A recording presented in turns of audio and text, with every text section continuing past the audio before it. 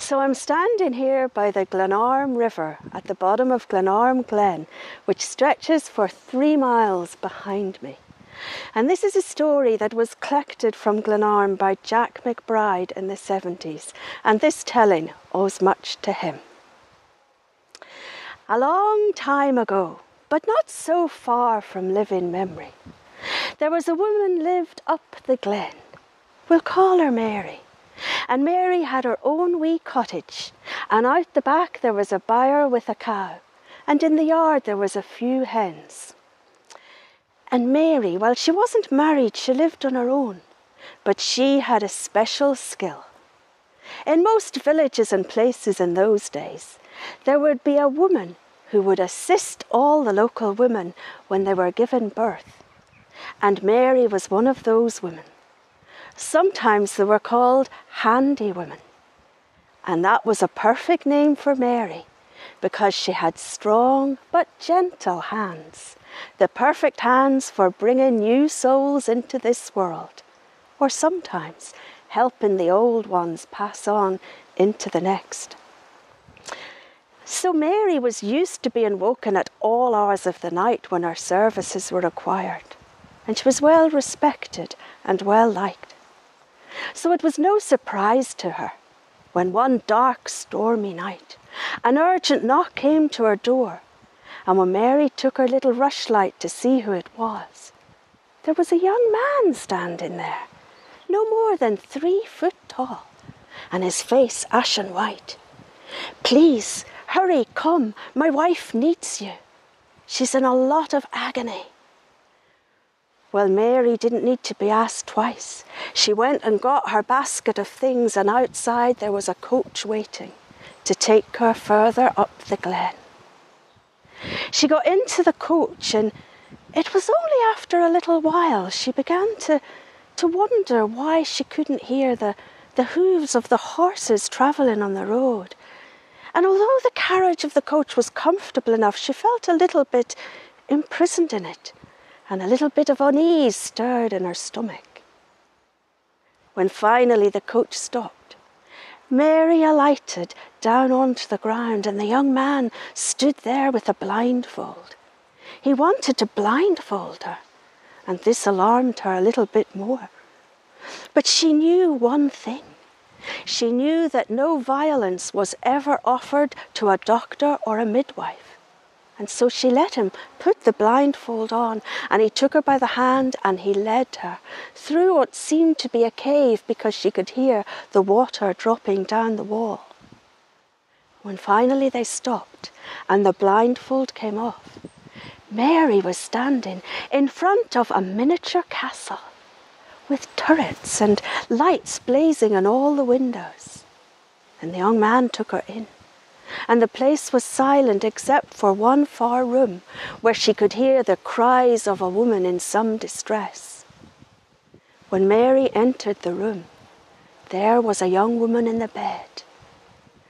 She was crying, her brow was fevered, and Mary, with one of her strong, gentle hands, she put her hand on her brow and she calmed her, and she felt the baby in the woman's belly well, Mary had to work with the baby in the belly a lot before finally she delivered a little baby. And this was the smallest morsel of baby Mary had ever delivered. But the woman in the bed was no more than two foot tall. She cleaned the baby, she gave it to the woman. And then she went to gather her things together to leave for by now Mary had a good idea that she was in the land of Faery. But when she got to the door of that castle, the two little doorkeepers crossed their lances to stop her leaving. And the young man with the ashen face came running. You cannot leave now, he said. You must stay until the Queen, my wife, is up and on her feet again. Well, Mary was in no position to refuse, but she knew one thing. She knew that she should not eat any food or drink anything that was offered to her from the fairy realm, or they would be able to keep her there indefinitely. And so she said she would stay. but that food should be brought to her from her own glen in her own realm.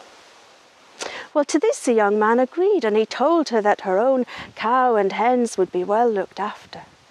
And so she stayed on, caring for the little bairn and the mother. When the time came for her to leave, that morning the young man came and told her that she must never speak of what she had seen here to anyone. And he gave her a little jar of ointment to rub on the baby's head.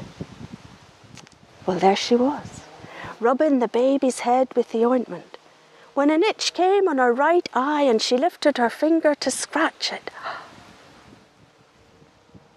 The next thing Mary knew, she was back in her own wee cottage. And there on the dresser there was a golden purse, and when she lifted up, it was full of gold coins. And when she went out into the yard to check on her hens and look for her cow, she discovered that the number of hens was double what it had been. And in the byre there were two cows where there had been one.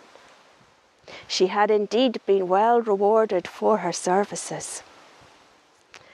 And she wondered if it had really happened or been a dream. But then, when the neighbours asked her if the lovely dumb girl that had looked after the place while she was gone was some relation, she realised that she really had been away.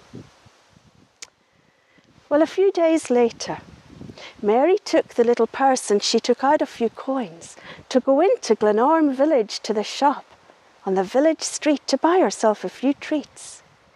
And she went into the shop, and what did she see? But two wee fairy folk with baskets over their arms, helping themselves to all and sundry, and the shopkeeper seeming not to see anything. Indignantly she said, Are you stealing? Well, the wee fairy folk, they looked up at. Can you see us? Surely I can, with my own eyes. One of them said, With both eyes and Mary held a hand up to each eye in turn. No, she said, only with my right eye. Well, that's lucky for you, said one of the wee fairy men, and he jumped up and he gave her such a blow in the eye that she stepped back. And that was the last that Mary would ever see out of that eye. And when she made her way up the glen to her own wee cottage, there was but one cow where there had been two, and the original number of hens was back to what it had been. And when she went inside, the golden purse was empty. All she was left with was the couple of coins she'd put in her apron pocket, which is what she would normally have received for her services. But on the table there was a note, and the note said, when a blind man has his sight restored, your gold shall be found up in Straidkilly, which is just a couple of miles up the road from here.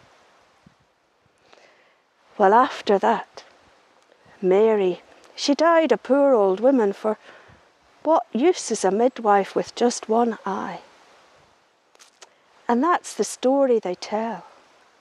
And as far as I know, that fairy gold has never been found, though many's a one has been up Straidkilly searching for it.